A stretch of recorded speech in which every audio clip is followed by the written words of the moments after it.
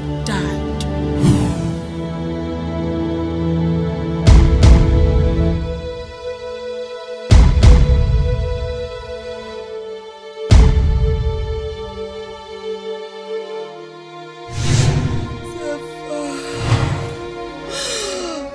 Tifa, why have you done this to me? Maybe we were too busy to give attention to our loved ones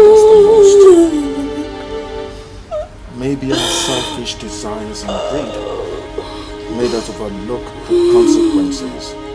I don't belong to the class that sings glory to beg for what belongs to all of us.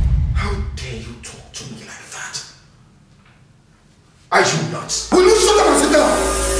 You corrupt father. Now you're planning to eliminate me because I decided not to be part of the game anymore. You have to be very, very sensitive It's a just cause. And I am very happy there are people like you who aren't ransom conscious but believe in the liberation of all.